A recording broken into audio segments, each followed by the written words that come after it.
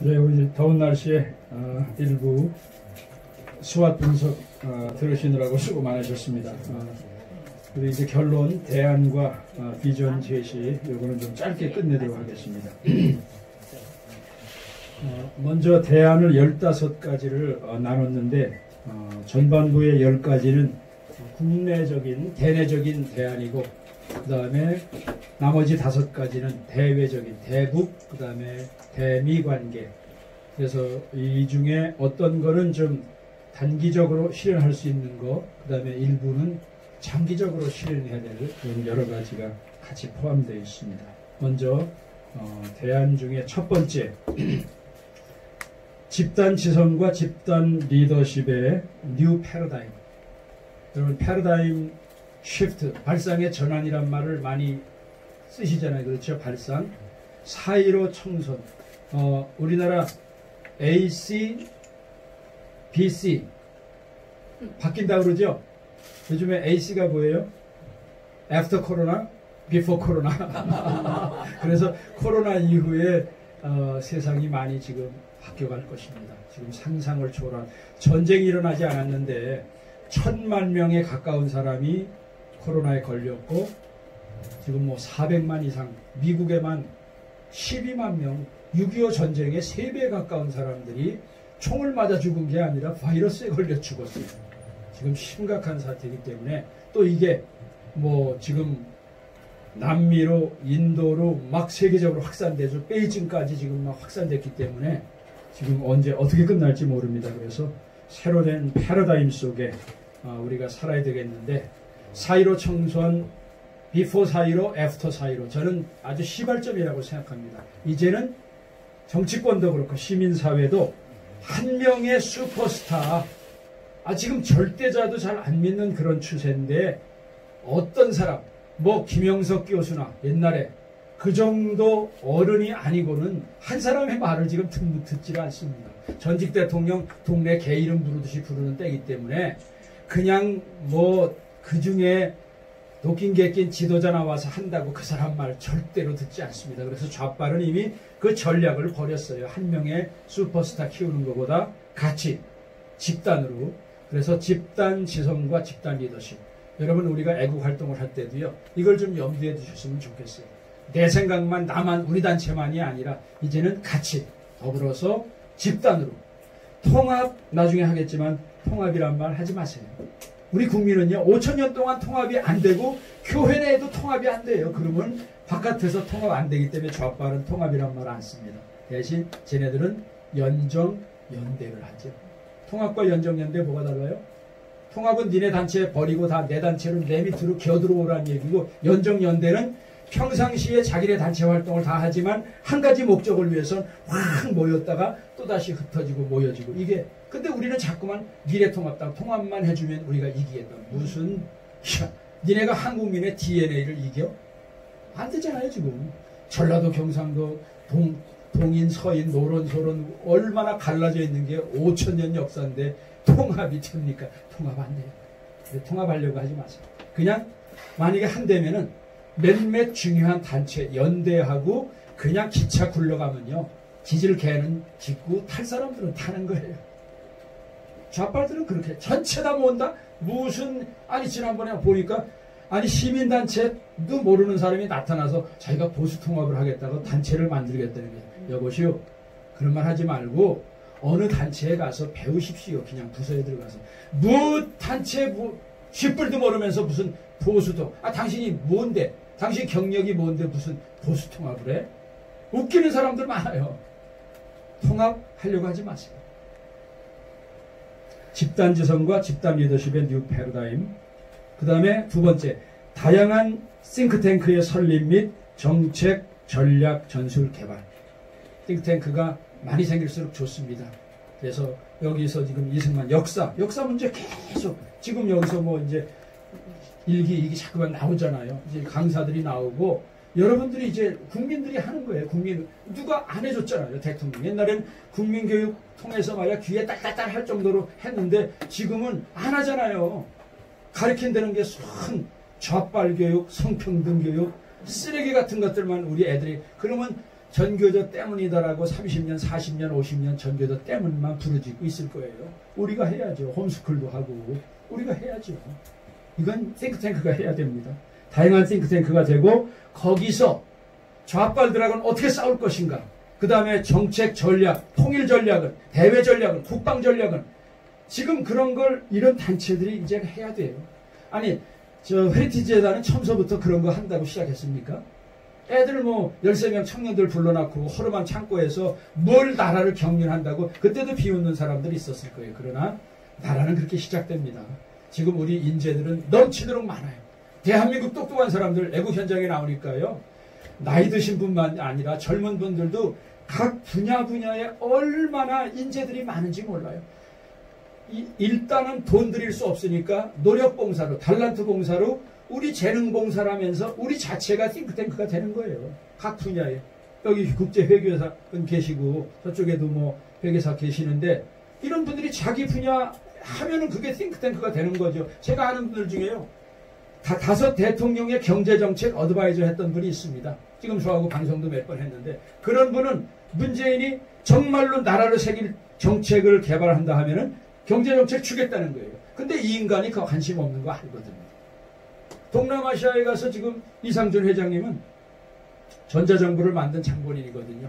후진국가에 전자정보 시스템을 만들어주는 거를 다 하는데 자기 돈을요. 지난 5년 동안에 26억을 갖다 퍼 부었습니다. 한 푼도 벌지 못하면서. 그런 나라들 전자정보하는 꿈을 실어서 젊은이들에게 비전이 없는 애들에게 눈을 반짝반짝하게 해주겠다. 내가 70부터 80까지 내 건강 허락하는 한 10년 동안 내 자신하고 약속이다 해서 그 고생하면서 캄보디아에 가서 지금 국책 사업으로 어답트 됐어요. 한 개인이 하는데 됩니다. 그래서 우리는 그런 잠재력을 가진 분들이요. 제 주변에도 상당히 많이 있습니다. 띵크탱크 넘치고 넘쳐요. 할 수 있습니다. 우리는 충분히. 그래서 어, 다양한 싱크탱크가 설립되고 거기서 정책 전략이 개발될 수 있도록 우리가 기금을 모으면 paid staff 연구원도 만들어서 그런 연구가 탁탁탁 보고가 나가면 그게 이제 정치가들에게 농락질 당하지 않는 국가를 국민들이 함께 경륜하는 그런 건강한 국가가 될 수 있습니다. 그 다음에 경제 선진화에 걸맞은 국민의식의 선진, 국민의식, 국민의식, 국민의식이요. 우리가 상당히 높이 깨어있는 국민인데 아, 훈련 받지 못해서 70년대, 80년대 이후에 국민의식이 많이 정체되어 있습니다. 그리고 국민이 가장 잘하는 것에 우리가 초점을 두고 거기, 거기 심혈을 기울여야 되는데 한국민이 가장 못하는 게 여러분 뭔지 아십니까? 한국민이 정치가들만 못하는 게 아니라 한국민도 가장 못하는 게 정치예요. 근데 지금 대한민국 5천만 명이 다 정치하겠다고 나서니까 우리나라는 여기에 대한 이 에너지가 다른 방법으로 나가요. 가장 잘하는 건 뭔지 아세요? 한류. 문화입니다, 문화. 우리는 돈으로 계산할 수 없는 문화 유산이요. 지금 세계 어, heritage, 어, 저, world heritage, 세계 문화유산, 기록유산, 유적지 있는데 우리나라 땅덩어리의 숫자로 치면은 120몇 위예요. 그죠? 그 다음에 국민 인구 숫자로 따져도 한참 뒤로 가는데 문화 세계 유네스코 문화유산에는 몇 위인지 아십니까? 지금 4위 내지 5위예요. 기록 기록유산하고 그러면요 이 정도로 우리가 이런 찬란한 문화유산을 갖고 있기 때문에 동양, 서양, 중동을 비롯해서 우리의 노래, 방송, 음악 이게 먹혀 들어가는 거예요. 그러면 저는 이제 관심 있는 게 국민이 가장 잘할 수 있는 거 잘한다 잘한다 힘을 보태주면요 우리 우리 국민 굉장히 잘하거든요. 지금 BTS 요번에 뭐 우리하고 좀 다른 성향의 영화라고 하지만 기생충 이런 거 하나가 벌어 BTS가 하나 벌어들이는 돈이요 지난번에 따져보니까 얼마 몇 년 사이에 53조의 경제 가치 얘기하더라고요.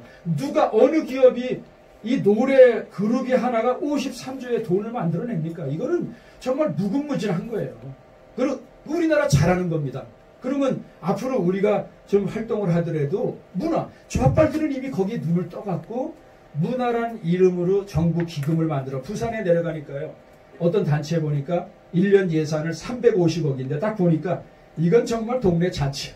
그러면서 스태프들 다 고용해갖고 정부에 돈 받아서 적당한 일하면서 정부 죽이는 일을 하고 있습니다. 이네는 벌써 우리보다 선수예요. 그래서 우리는 그저 태극기만 드는 게 아니라 여러분 우리가 잘할 수 있는 게 문화 역사 이미 우리에게 있습니다. 우리 DNA에는 있어요. 운동도 잘하고 그래서 우리는 거기에 좀 초점을 맞춰서 국민 의식이 좀 선진화돼야 되겠습니다. 이거는 우리가 의도적으로 긴 텀으로 봐서 30년 작업을 해야 돼요. 그래서 경제 선진화는 이루어졌는데 국민 의식이 지금 후진에 멈추지 못하잖아요. 민주주의 여러분 우리 여기 민주주의 잘 안 돼요.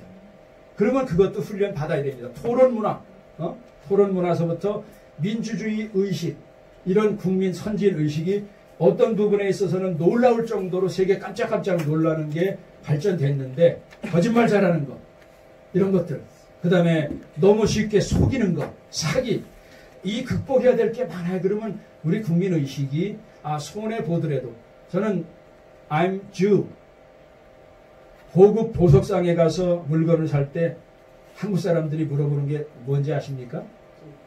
이거 진짜예요? 그러면 유대인들이 대답하는 게 뭐라 그런지 아세요? 이거 진짜입니다, 가짜입니다라고 대답 안 하고 I'm a Jew. 무슨 말이에요? 나 유대인이야. 그 말은 유대인은 거짓말 안 하는 건데 한국 사람들은 하나님 앞에 가서 갈아 쌓인 받아오라고 해도 받아올 사람들이 한국 사람들이라고 재주가 뛰어나고 잔재주가 뛰어나고 잔머리 거짓말을 잘하는 게 우리 속에 굉장히 많이 있습니다. 그래서 이거는 우리가 극복해야 될 선진 시민이 되기 위해서는요 손해를 보더라도 정직하게 살아야 된다라는 그 의식은요 여러분과 제가 고통 속에 우리 자식들 그렇게 그렇게 교육을 해야 돼요.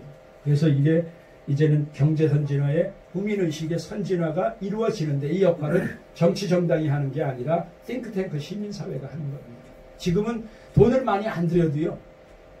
유튜브를 통해서 SNS가 살아있기 때문에요. 우리가 제대로 좋은 걸 교육을 하면은 전교적 교사들보다 훨씬 많은 걸 우리가 할 수 있습니다. 그 다음에 시민사회 역량 강화 및 인재 풀 가동.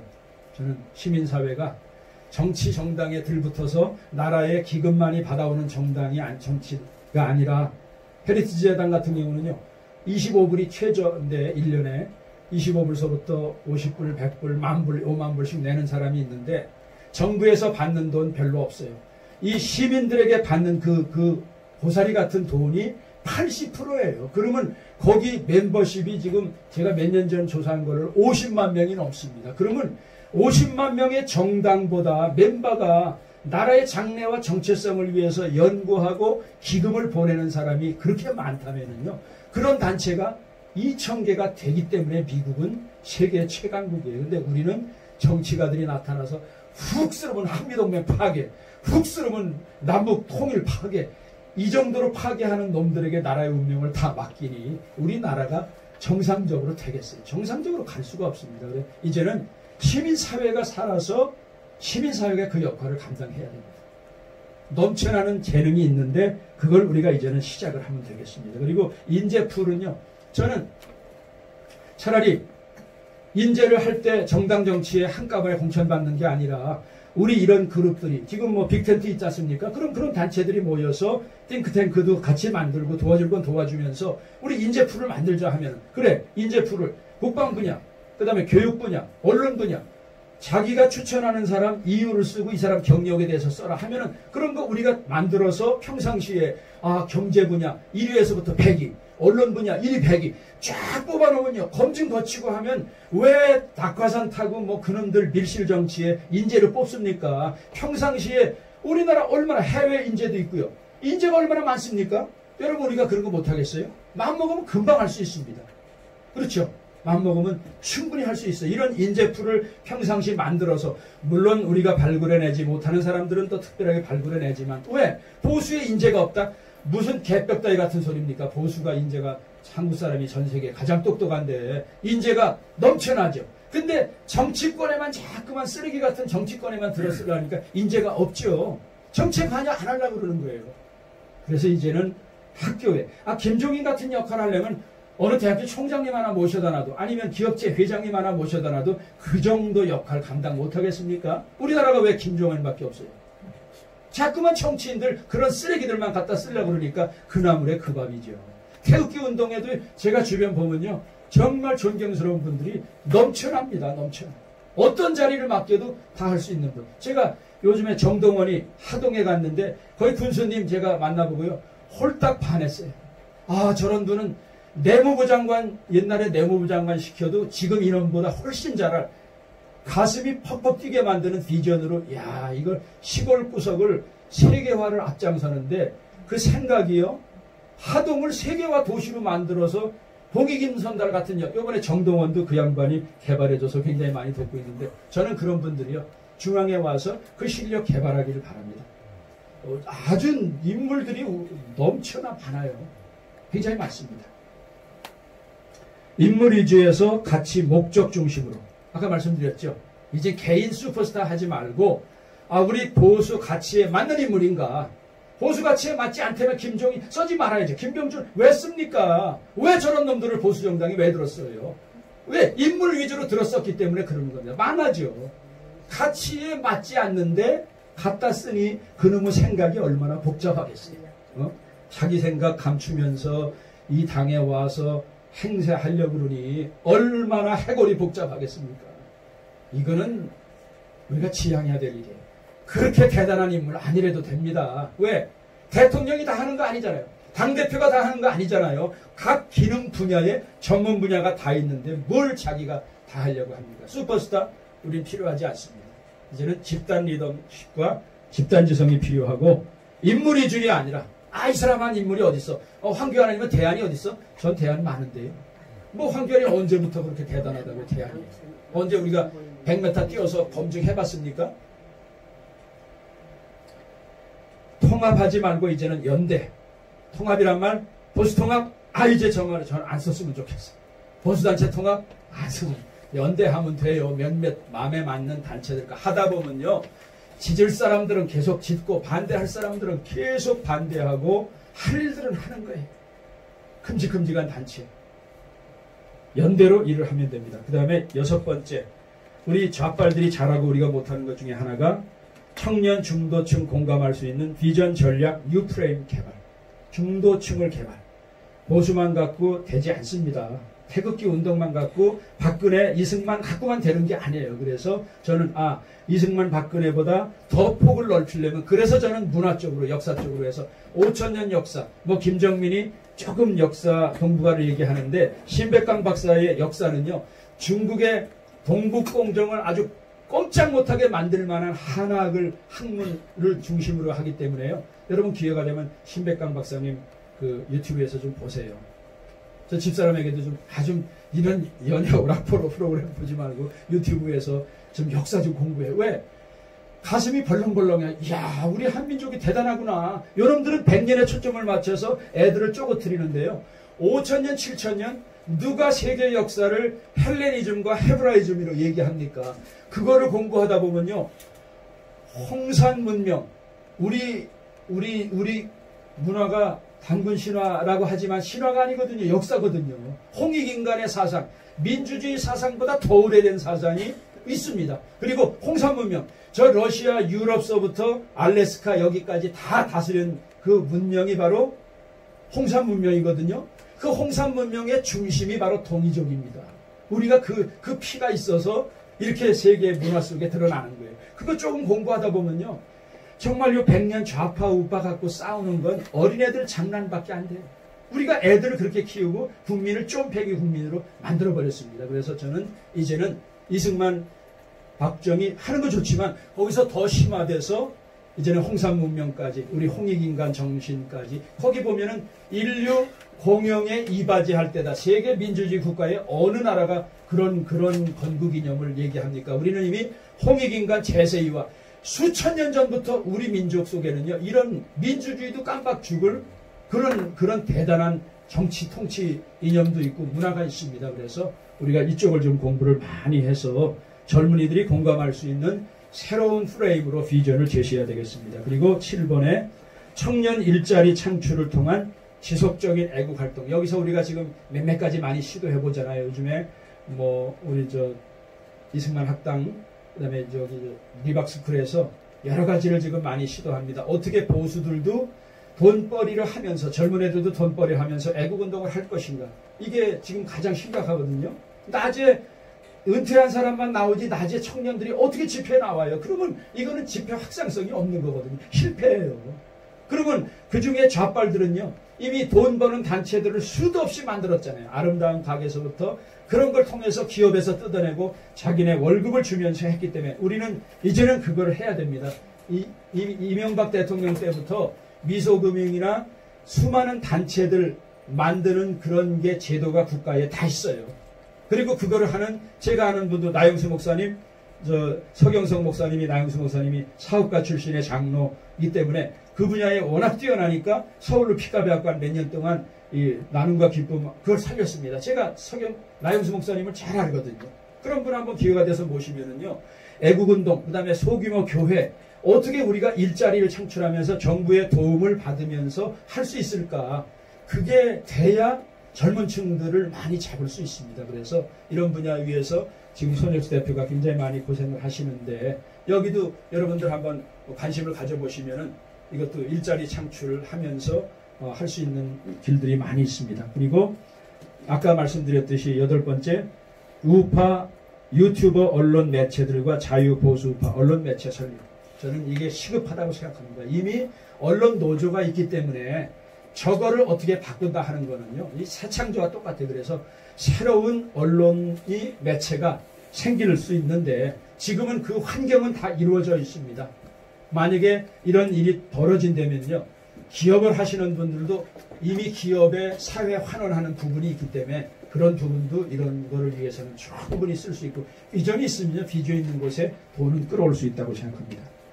아홉 번째, 아스팔트 자유 우파 운동의 진화 및 전략적 투쟁.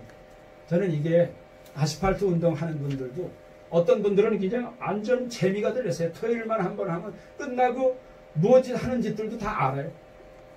좋지 않게 쓰는 방법도 보고 그런 소리들이 들려와요. 이제는 아스팔트 운동으로 뭘 다 이뤄낸다. 아니 나라가 지금 어느 시대인데 아스팔트로 다 이뤄냅니까? 아스팔트에 나온 사람들이 세상을 다 우리 국가를 경륜할 수 있는 게 아니잖아요. 그렇죠? 너무나 안 하니까 너무 안타까워서 나왔지만은 이제는 지난 몇 년 동안에 길게는 한 10, 20년 동안에 아스팔트 보수 우파 운동을 했다지만 거기서 모든 걸 다 이룰 수 없습니다. 한계를 봤어요.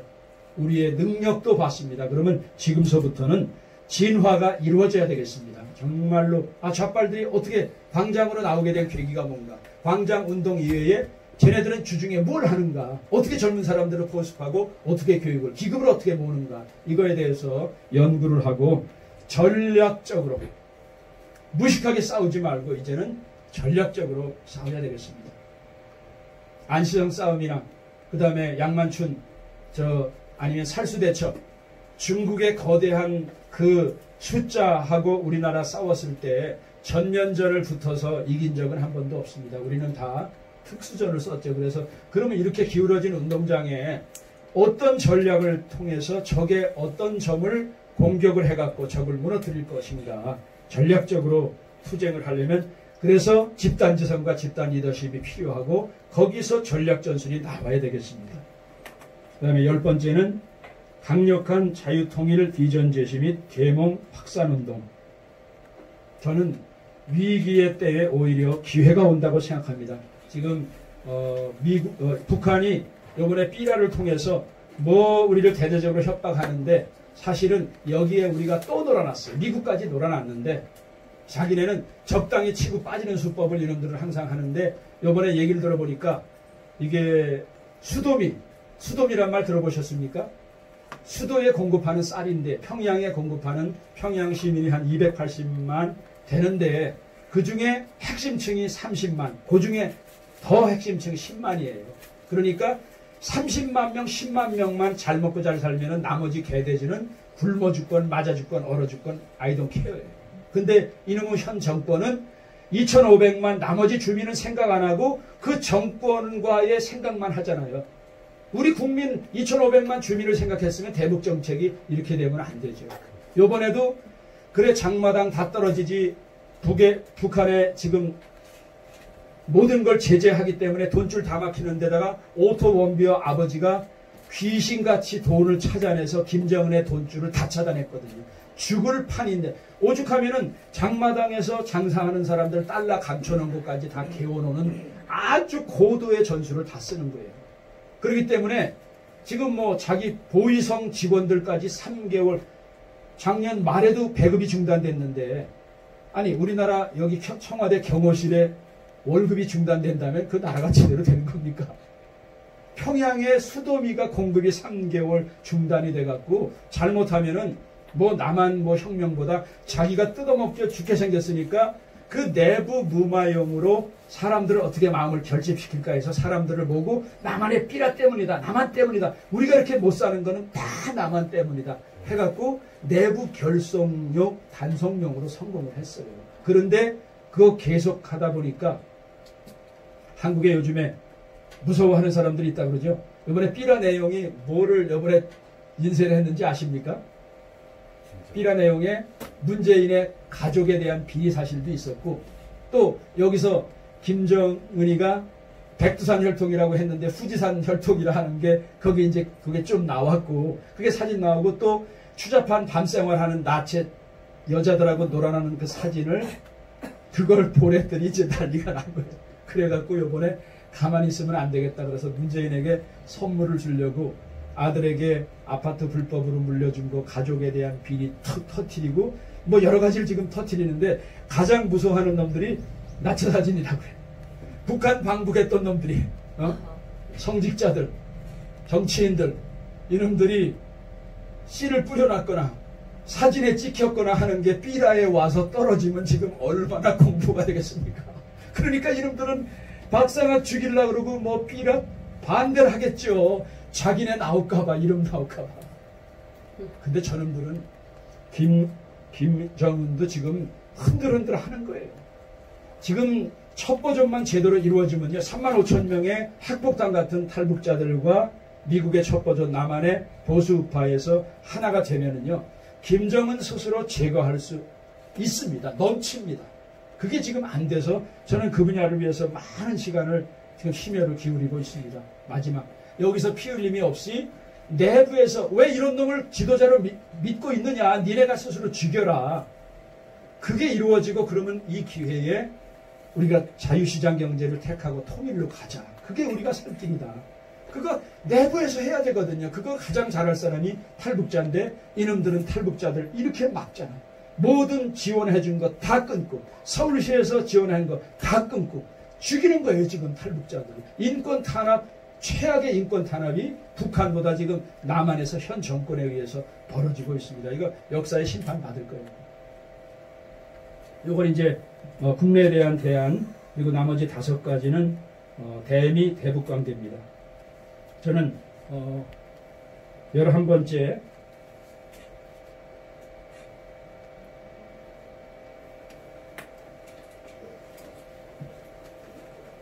열한 번째 이거는 이제 김정은 정권 붕괴입니다. 이게 뭐 힘든 말 같지만 여러분 우리 동방 예의지국인데 대한민국은 이미 아주 귀한 선물을 세 번을 북한으로부터 받았어요. 어떤 선물이냐? 대통령 암살. 1968년 124군 부대 백주 대낮에 김신조 일당을 보내서 청와대 습격해서 죽이려고 했었죠. 실패했잖아요. 아주 큰 선물입니다. 두 번째 언제예요? 74년 8.15 경축사 장충체육관 8.15 경축사에서 문세광 간첩을 시켜갖고 박정희 대통령을 또 시해하려고 하다가 피하고 유경수 여사만 애국계 돌아가셨잖아요. 그렇죠? 두 번째 선물 받았습니다. 세 번째 1984년 10월 10월 달인가요?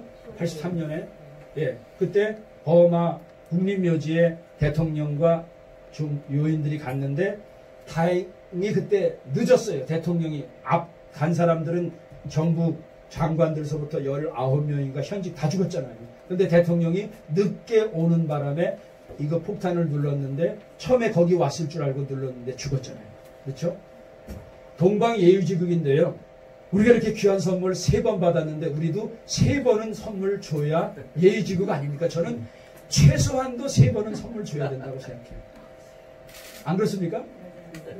아, 선물 그렇지 않으면 우리 너무 나쁘잖아요. 이 귀한 선물을 세 번씩 받고 선물 줘야 돼요. 김정은 정권 회담을 주님 다시 오시기까지 해보세요. 회담을 통해서 무슨 북핵 문제. 저건 종북 좌빨 도려내듯이 이 3대 세습 정권은 도려내고 이건 파괴시켜 죽여야 됩니다. 공작. 왜? 세 번은 해야지. 3, 세번 우리도. 그래서 이 작업을 탈북자들은 지금 하려고 그래요. 목숨 걸고 하려고 하는 사람, 어떤 사람은 자기 가족을 이미 해외로 빼돌렸습니다. 내가 여기 한국에 있으면 내 가족이 있으면 짐이 되니까 이제 마음껏 하겠습니다. 때가 되면 내 온 길로 그대로 가겠습니다. 하는 사람도 있고 지금 있어요. 기회는 충분히 있습니다. 그래서 저 김씨 일가를 무너뜨리기 전에는 대한민국의 이 정체 체제 문제가 해결되지 않아요. 아무리 문재인이 떠들어도 정신적인 사상적인 보급로가 끊기면은 자기 끝이죠. 뭐 여기서 어떻게 하겠습니까? 정신병원에 가든지 부엉이 바위로 가든지 이제는 해야 됩니다. 저는 그래서 여기에 관심이 많습니다. 우리 북한 정권 탈북자들과 함께 붕괴, 교체.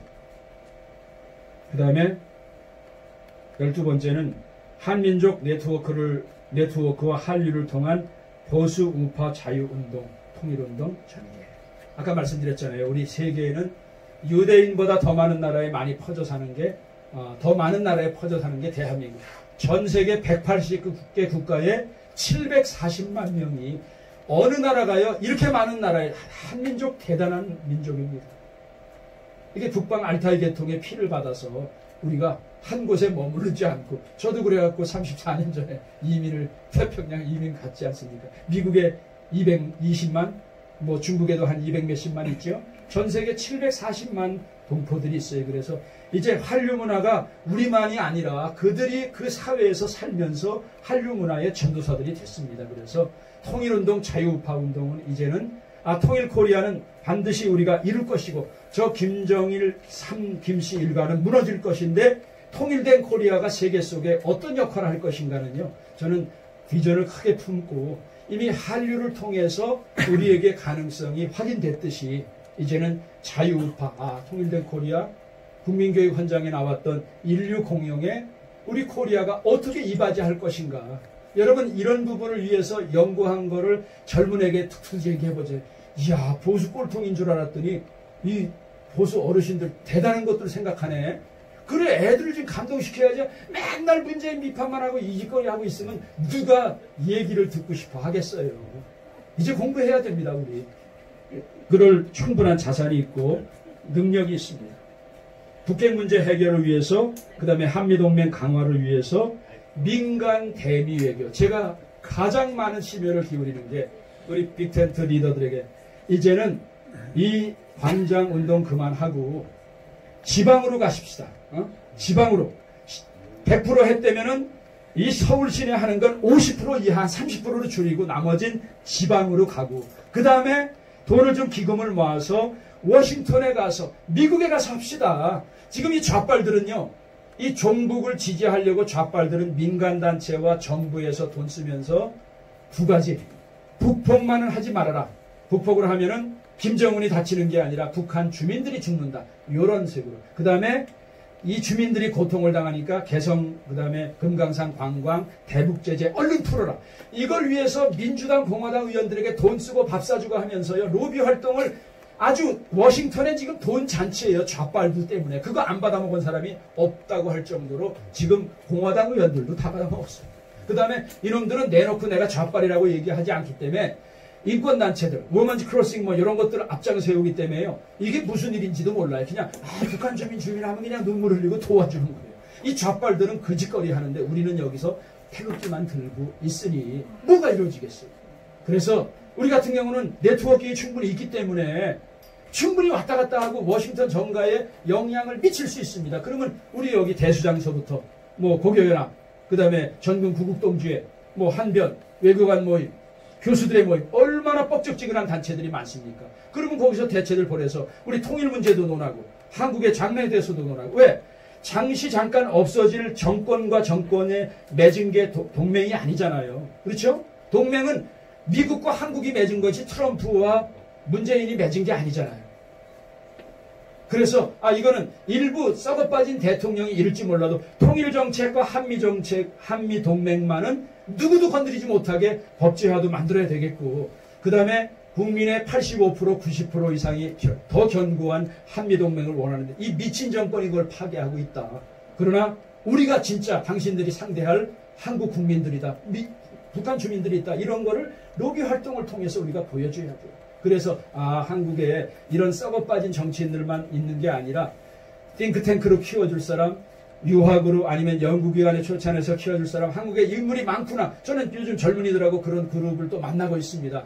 띵크탱크를 통해서 아 저분들은 바로 소개해줘야겠다. 장학금 받고 공부할 수 있는 사람은 공부하게 하면 되거든요. 그런 사람들이 단번에 정치가 되는 게 아니라 키워줘야 돼요. 10년 20년. 그러면서 그런 사람 중에 대통령이 나오지 말라는 법이 어디 있습니까 인물을 키워야 돼요. 로비 활동해야 됩니다. 애국운동 이제는 좀 눈을 돌려서 우리가 하나님 다음으로 바지가랑이 붙잡고 늘어져야 될 게 미국이고 미국 대통령이거든요. 미국에 지켜주지 않으면 한국은 그냥 경제고 뭐고 끝이잖아요. 그러니까 이제는 정치가들이 뭐 황교안이 좀 나서서 했으면 되는데 거기 외교하러 갔다 하는 놈 한 번도 못 봤어요. 개인적으로는 가지만 이제는 정당에게 맡기지 말고요.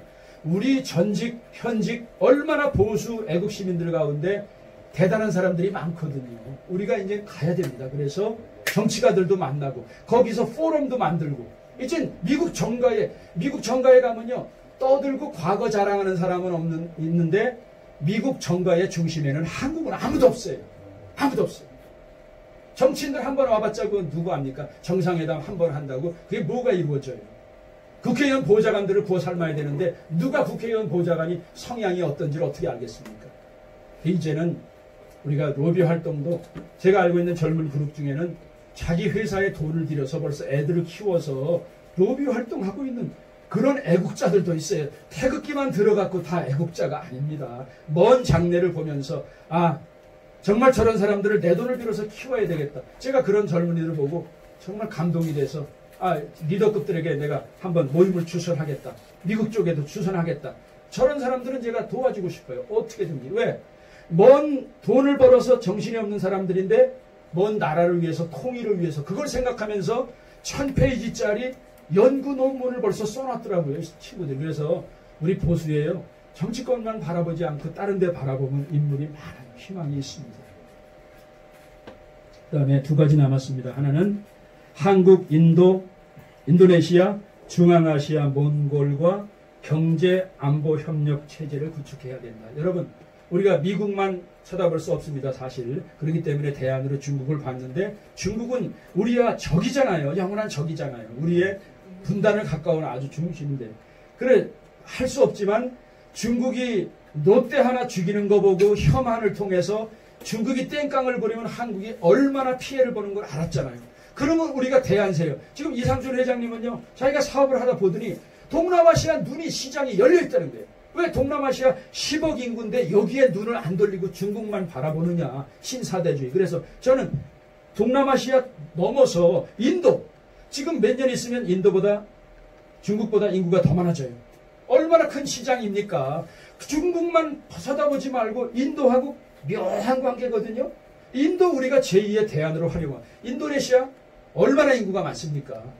그래 요번에 브라질로 우리가 눈을 돌려야 돼. 브릭스, 브라질, 그 다음에 러시아, 인도네시아, 새로운 강국들 아니에요. 인, 도 거기에 우리가 민간 차원에서요, 사업하는 사람들은 이미 그 눈을 보고 정부에 관심 없는데 거기 뜨고 있어요. 일본이 다 잠식을 하는데 일본이 요즘에 신뢰를 잃으니까 비전 있는 사람들을 통해서 한국이 정말 첨단 산업서부터 한류, 한류의 장점이 있거든요. 그러니까 이런 장점을 통해서 우리가 정치하는 사람들에게 눈을 그쪽으로 돌리도록 맨 친중파만 있는데 친인도파도 만들고 브라질도 만들고 지금 눈을요 중국에서 좀 돌릴 줄 알아요. 그거는 정치인들이 그 대가리가 없거든요. 그건 민간인 전문가들이 끊임없이 자기네 지역구 국회의원들에게 얘기해주고 정치에 반영되도록 얘기를 해줘야 됩니다. 그래서 인도, 인도네시아, 그 다음에 우리와 피와 피가 같은 언어와 문화가 같은 중앙아시아, 그 다음에 저 헝가리, 핀란드, 터키, 네팔, 그 다음에 베트남까지 여기다 우리 한 문화권이거든요. 이런 문화권을 우리가 뭐 정치만 생각하지 말고 그런 문화권 다 받아들여서 문화 연구하고 역사 연구해봐요. 중국 아마 정말 긴장할 겁니다. 우리나라가 나니까 도와주면서 그런 나라. 지금 한국말 배우려고 이런 나라들은요, 한국을 옛날에 우리가 미국 가듯이 좋아합니다. 그래서 우리에게 그런 장점, 선진국 됐죠. 황대국 됐어요. 경제 잘 살고, 한류 문화를 통해서 한국이 자기네보다 월등하다는 게 있기 때문에 그런 때에 야 우리와 같이 한번 미래를 논해보자 하면서 그런 나라들과 수많은 관계를 갖고 학술 토론을 하고 해보세요. 애국운동 하더라도 갑자기 한번 그런 분들 강사로 끌어들여 보세요. 달라지잖아요. 우리 보수 꼴통의 프레임이. 그래 이제는 생각을 좀 바꿔서 발상을 근본적으로 전환할 필요가 있습니다.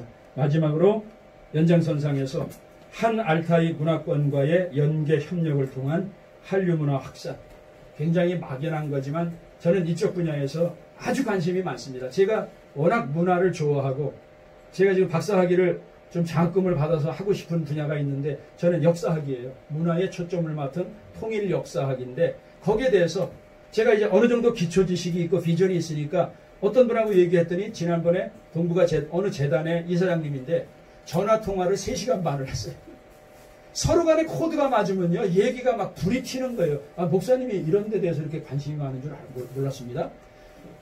우리가 좋은 게 이렇게 많이 있어요. 그래서 이젠 이런 좋은 걸 통해서 정말 세계 속에 가장 못하는 정치 좀 내려놓고 이제는 우리가 가장 잘할 수 있는 한류 통일 쪽의 비전을 맡아서 우리 국이, 국격이 떨어뜨렸는데 이제는 그거를 여러분과 제가 탱크탱크를 크고 작은 탱크탱크를 만들어서 국민 의식을 좀 선진화시키는데 우리가 기여를 할 수 있는 그래서 저는 그런 의미에서 어, 기회는 아, 위기는 오히려 기회이다. 그런 생각을 합니다. 마지막으로 이담 헬더 카마라라는 브라질 빈민가에서 활동하던 유명한 대주교가 한 말, 뭐 이 말이 징기스칸의 말이다, 누구 말이다, 뭐 별의별 말이 많은데 어, 제가 알기로는 이분이 가장 정확한 그 말을 한 분으로 생각합니다. 한번 다 같이 읽어보시기 바랍니다. 시작. A dream you dream alone is only a dream. A dream you dream together is a reality. 다시 한 번요.